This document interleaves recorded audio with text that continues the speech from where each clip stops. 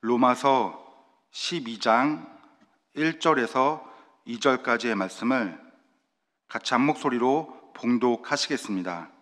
그러므로 형제들아 내가 하나님의 모든 자비하심으로 너희를 권하노니 너희 몸을 하나님이 기뻐하시는 거룩한 산 제물로 드리라 이는 너희가 드릴 영적 예배니라 너희는 이 세대를 본받지 말고 오직 마음을 새롭게 함으로 변화를 받아 하나님의 선하시고 기뻐하시고 온전하신 뜻이 무엇인지 분별하도록 하라.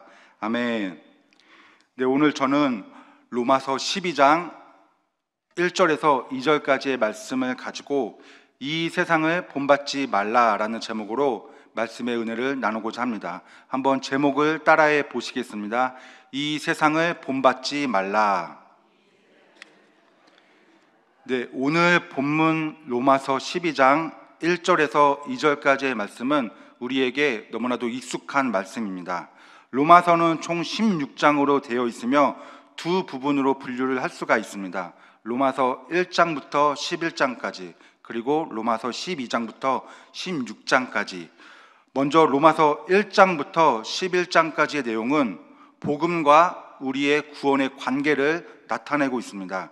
그리고 로마서 12장부터 16장까지의 말씀은 복음으로 구원을 받은 우리가 어떻게 이 세상을 살아가야 할지에 대한 내용을 담고 있습니다. 오늘 본문 로마서 12장 1절 말씀입니다. 그러므로 형제들아 내가 하나님의 모든 자비하심으로 너희를 권하노니 너희 몸을 하나님이 기뻐하시는 거룩한 산 제물로 드리라 이는 너희가 드릴 영적 예배니라.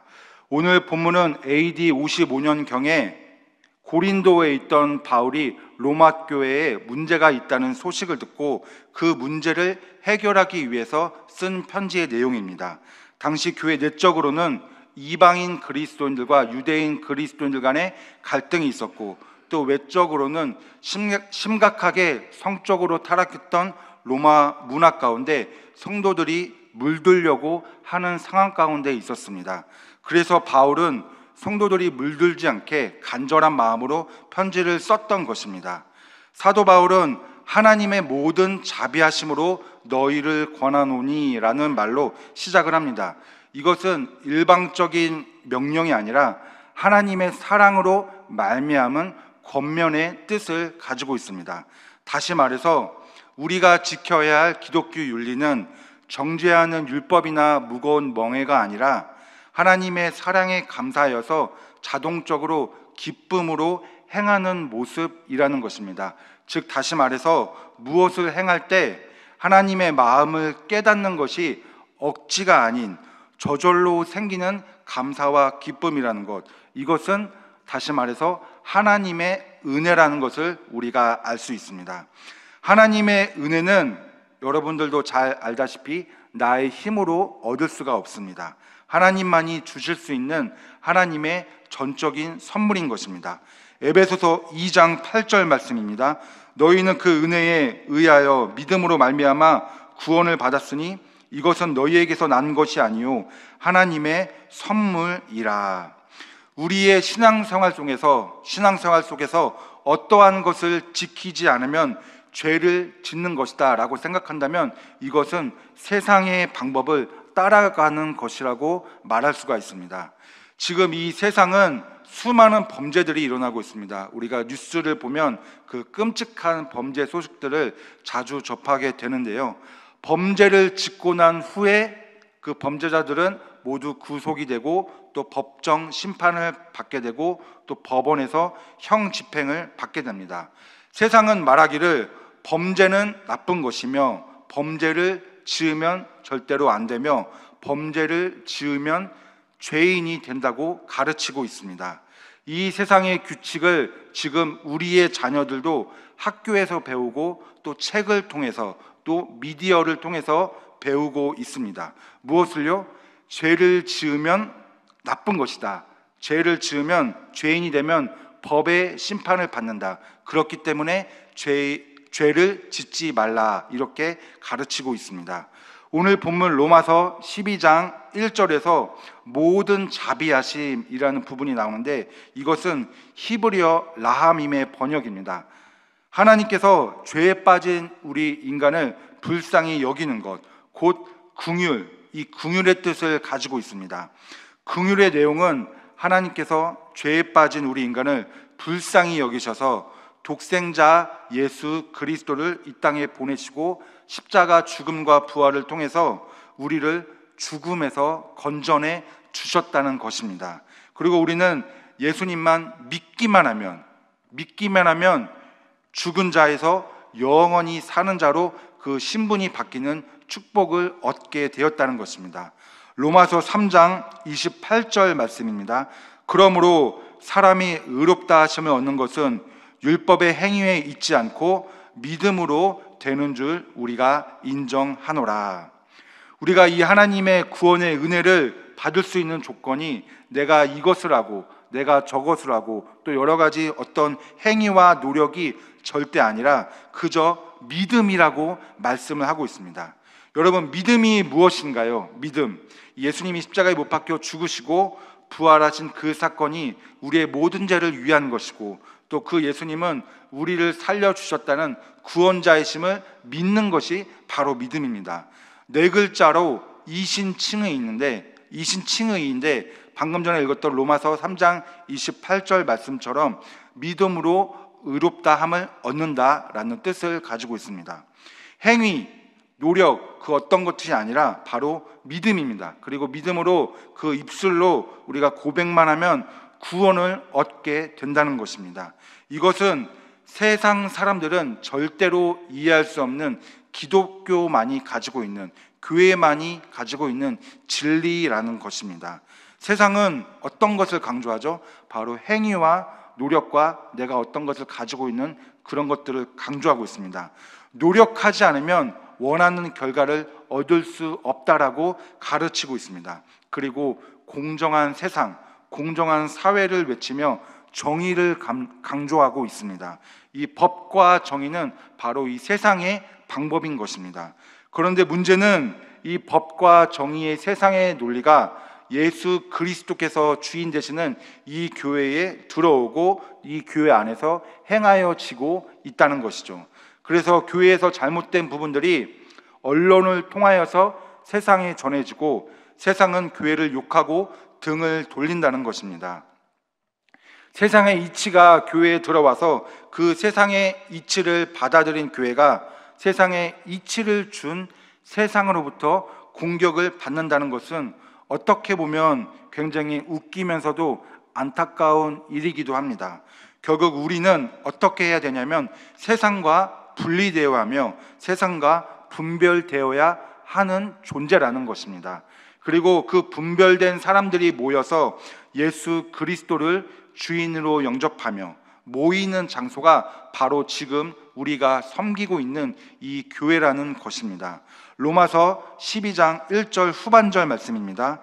너희 몸을 하나님이 기뻐하시는 거룩한 산 제물로 드리라. 이는 너희가 드릴 영적 예배니라. 우리가 세상과 분리되고 분별될 수 있는 방법은 바로 예배밖에 없는 줄 믿습니다. 그 예배는 교회에 와서 이렇게 의자에 앉아서 이렇게 지금 새벽 예배를 드리고 있는 이 행위의 모습을 말씀하고 있지 않습니다. 바로 영적 예배라고 말씀하고 있습니다. 그 영적 예배를 이렇게 말씀합니다. 너희 몸을 하나님이 기뻐하시는 거룩한 산 제물로 드리라. 여기에서 몸이라는 것은 이 몸은 헬라어로 소마인데 그 의미는 모든 것이라는 뜻을 가지고 있습니다. 우리의 육체, 생각, 행동, 이 나의 모든 것이 해당이 됩니다. 그리고 산 재물에서 재물은 보통 우리가 죽은 것을 뜻하지 않습니까? 이 산재물의 뜻은 나의 육체와 생각과 행동 모든 것을 죽인다는 것을 뜻하고 있습니다. 나를 죽인 상태에서 하나님께 맡기라. 이것이 바로 산 재물의 뜻이고 이것은 다시 말해서 전적인 100% 순종을 의미하고 있습니다. 구약에서 아브라함이 자신의 아들 이삭을 하나님께 바쳤던 그 순종, 그리고 신약에서 예수님이 자신의 몸을 찢기고 버리면서 하나님께 바쳤던 그 순종. 우리가 이 순종을 묵상하면서 매일마다 아멘으로 화답하면서 나아가지만 안타깝게도 이 순종이라는 단어가 우리의 묵상 가운데 그치는 경우가 많이 있습니다. 왜냐하면 이 제약된 세상은 우리를 계속 유혹하고 끌어들이려 하고 있기 때문입니다. 또 그 세상은 우리가 육체적인 삶을 살아가면서 어쩔 수 없이 필요할 수밖에 없는 요소들을 가지고 있다는 것이죠. 돈도 그렇고 학업도 그렇고 뭐 취업이나 승진이나 출산, 육아, 건강 이 모든 것들은 우리가 세상 사람들과 똑같이 거쳐야 하고 감당할 수밖에 없는 것들입니다. 예를 들어서 돈을 모을 수 있는 방법이 기도만 하면 된다. 돈을 모을 수 있는 방법은 기도만 하면 된다고 한다면 어느 누가 기도만 하면서 살겠습니까? 그만큼 우리가 돈을 모으기 위해서는 열심히 정직히 일해서 돈을 벌고 그 돈을 아껴 써야만 돈을 모을 수가 있는 것이죠. 또 그 돈을 벌기 위해서 우리는 세상 속에 들어가서 믿음으로 세상과 싸우는 삶을 살아가는 것이 진정한 그리스도인의 모습이라는 것입니다. 세상을 피하는 것이 아니라 세상과 싸우는 모습이 우리의 진짜 모습인 줄 믿습니다.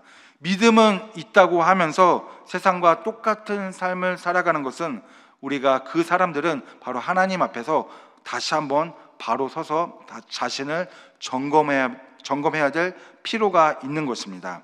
다시 말해서 오늘 본문에서 사도 바울이 말하고 있는 영적 예배란 우리가 주일에 교회에 와서 20분 동안 준비 찬양을 하고 또 묵상을 하고 사도신경을 하면서 시작하는 그 예배를 뜻하는 것이 아니라 주기도송을 부르고 나서 목사님께서 축도를 한 이후에 그 삶을 말하고 있습니다. 교회 문을 나서서 우리가 세상 속에 들어가는 순간부터 바로 예배가 시작되는 것입니다.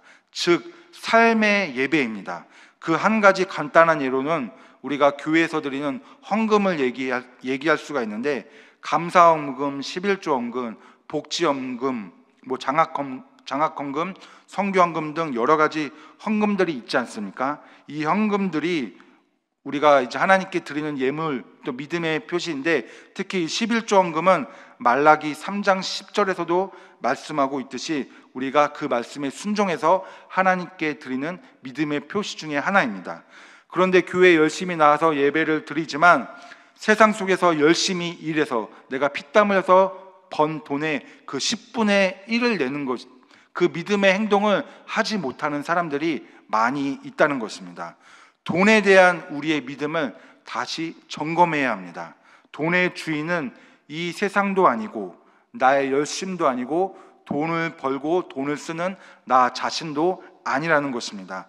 돈의 주인은 누구이십니까? 오직 하나님이신 줄 믿습니다. 그래서 11조를 드리는 것은 우리가 하나님을 향한 믿음의 표시를 하는 것입니다. 내가 번 돈, 내가 열심히 일해서 번, 번 돈의 주인은 내가 아니라 그 누구도 아니라 바로 하나님이시라는 고백하는 그 믿음을 뜻하고 있습니다. 그 믿음의 고백을 통해서 우리가 돈에 대해서 자유해질 수가 있는 것입니다. 세상은 막말로 얘기해서 돈 중심의 삶을 살아가고 있습니다. 돈을 최우선 가치로 여기며 세상 사람들은 살아가고 있습니다. 그러나 우리는 우리 그리스도인들은 11조라는 믿음의 고백을 통해서 세상의 본을 따르는 삶이 아닌 믿음의 본을 따르는 사람으로 거듭나는 줄 믿습니다. 오늘 본문 산재물, 이 산재물 이전에 붙는 형용사가 있는데 그 형용사가 무엇입니까? 바로 거룩한이라고 나와 있습니다. 그냥 산 재물이 아니라 거룩한 산 재물로 드리라라고 이렇게 말씀하고 있습니다. 그렇다면 여러분 거룩한이 무엇인가요? 요한일서 2장 6절 말씀입니다. 그의 안에 산다고 하는 자는 그가 행하시는 대로 자기도 행할지니라. 거룩은 이 거룩하다는 것은 하나님을 닮아가는 것입니다. 거룩하다는 것은 하나님처럼 행하는 것을 말하고 있습니다. 이 세상을 살아가면서 이 세상의 본을 받지 않기 위해 우리가 살기 위해서는 하나님을 닮아가는 거룩한 삶으로 나의 모든 것을 하나님께 거룩한 산 제물로 바치는 것인 줄 믿습니다. 닮아간다는 것, 이 똑같이 행한다는 것은 다시 말해서 우리가 예전에 어렸을 적에 어떤 연예인을 좋아해서 그 연예인처럼 닮아가고 싶어서 헤어스타일이라든지 화장이라든지 또 옷 입는 스타일 등을 똑같이 하는 경우가 있는데 하나님을 닮아간다는 것은 하나님과 똑같이 행한다는 것을 말씀하고 있습니다. 오늘 본문 로마서 12장 2절 말씀입니다. 너희는 이 세대를 본받지 말고 오직 마음을, 마음을 새롭게 함으로 변화를 받아 하나님의 선하시고 기뻐하시고 온전하신 뜻이 무엇인지 분별하도록 하라. 이 하나님을 닮아가는 거룩한 삶에 대해서 말씀을 나누기 전에 우리가 죄, 죄라는 이 단어를 한번 꺼내보기 원합니다. 이 죄는 세상을 표현, 표현 하는 단어이기도 하는데요. 창세기에서 아담과 하와가 하나님께서 하지 말라고 하셨던 선악과 나무의 열매를 따먹음으로 말미암아 그 죄가 우리 인간에게 들어오게 되었습니다. 그런데 선악과, 선악과 나무의 열매를 따먹으려고 했던 그 행위가 죄가 아니었습니다. 바로 선악과를 따먹으면 선악과 나무의 열매를 따먹으면 하나님처럼 될 수 있다는 그 뱀의 유혹과 또 아담과 하와의 마음에 본능적으로 생긴 쾌락을 따라감으로, 따라감으로 말미암아 죄가 들어오게 된 것입니다. 사람은 본능적인 삶을 살아갑니다. 잠을 자야 하고 밥을 먹어야 하고 일을 해야 합니다. 이 본능적인 삶을 살아가지 못하면 우리는 어떻게 됩니까? 죽을 수밖에 없습니다. 근데 하나님께 나아가려면 이 본능적인 삶을 절제하면서 자제하면서 또 포기해야 하는 그 아픔과 고통과 노력이 필요하다는 것입니다. 그것이 바로 세상과의 구별되고 불변, 분별된 삶인 줄 믿습니다. 내가 하고 싶은 것, 내가 누리고 싶은 것들을 다 누리며 사는 본능적인 삶은 세상의 삶을 따라가는 것이지 하나님의 거룩한 삶이 아니라는 것입니다. 이 새벽 기도회, 이 새벽 예배 나오기 위해서 우리는 어젯밤에 내가 하고 싶은 것들, 또 내가 할 수밖에 없는 것들을 포기하고 일찍 잠자리에 들었을 것입니다. 그리고 새벽에 피곤하겠지만 알람 소리에 맞춰서 잠에서 일어나서 옷을 입고 이 자리에 나왔습니다. 이 새벽 기도회, 이 새벽 예배는 바로 세상과 구별되고 분별된 삶인 줄 믿습니다. 세상 사람들은 이 새벽에 무엇을 합니까?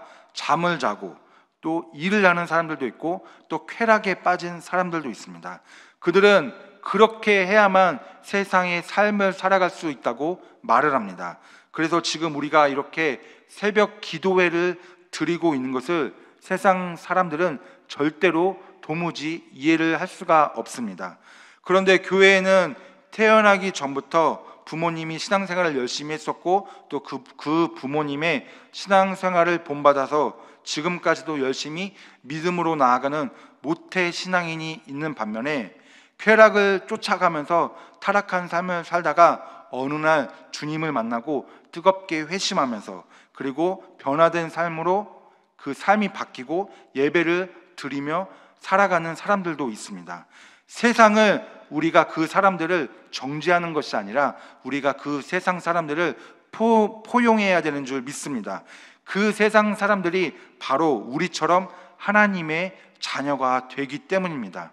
하지만 변화된 삶으로 날마다 하나님의 은혜를 체험하며 우리는 살아가고 싶지만 이 세상의 쾌락과 이 세상의 유혹은 계속해서 우리를 하나님과 멀어지도록 하고 있습니다.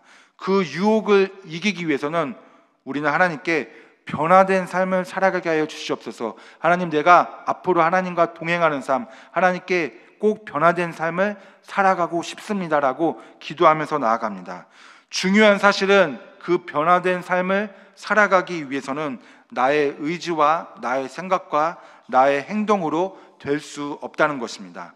나의 의지와 나의 생각과 나의 행동으로 새벽 기도에 나올 수 있습니다. 나의 의지와 나의 생각과 나의 행동으로 11조도 드릴 수 있습니다.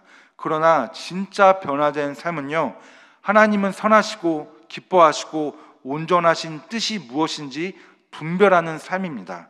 로마 시대 때 율법학자들 바리새인들은 율법대로 행하는 삶이 하나님의 선하시고 기뻐하시고 온전하신 삶인 것으로 착각을 하면서 살았습니다. 그들은 말씀도 정말 많이 읽고 그 말씀도 외우면서 살았습니다. 그리고 지금 우리보다 예배도 더 많이 드리고 기도도 더 많이 하면서 살았습니다. 그것이 하나님이 기뻐하시는 삶인 줄 알고 그렇게 착각된 삶을 살았습니다. 그런데 그들은 어떠한 죄를 지었습니까? 예수님을 구주로 영접하지 않았습니다. 예수님을 신성 모독죄로 고발하면서 십자가에 못 박아 죽였던 것입니다.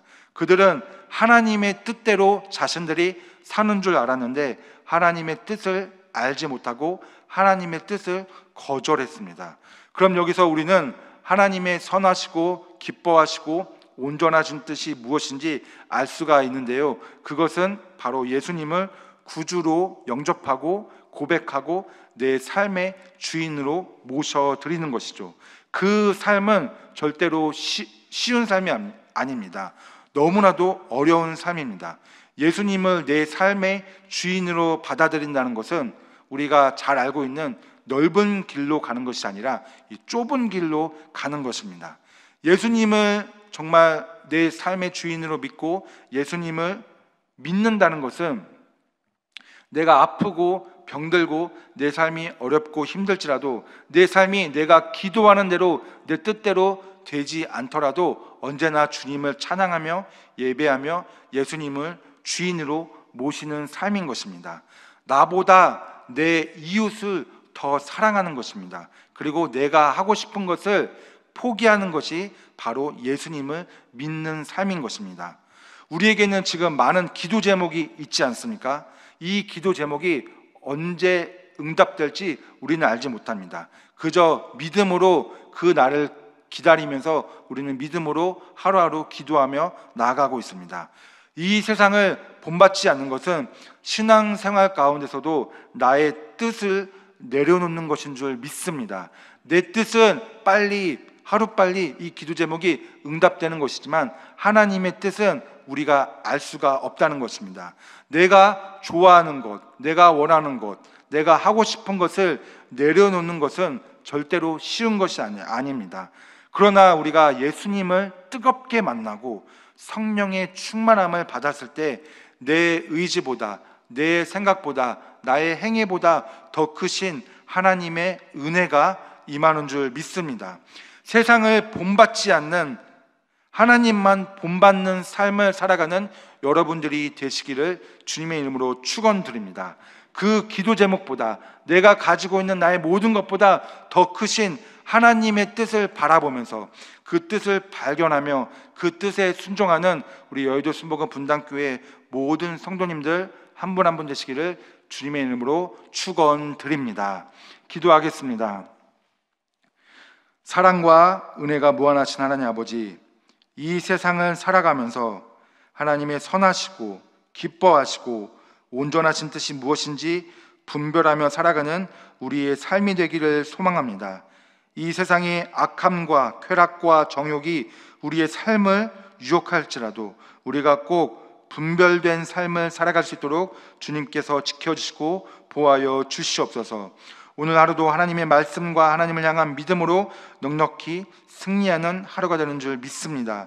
이 나라와 이 민족을 기억하셔서 하나님의 뜻이 임하게 하여 주시옵고 여의도 순복음교회와 이영은 목사님의 사역과 또 우리 여의도 순복음 분당교회와 황선우 담임 목사님의 사역에 성령의 기름을 부어 주시옵소서. 또한 현재 목사님의 영국 선교 사역 가운데 주님께서 함께하여 주실 것을 믿습니다.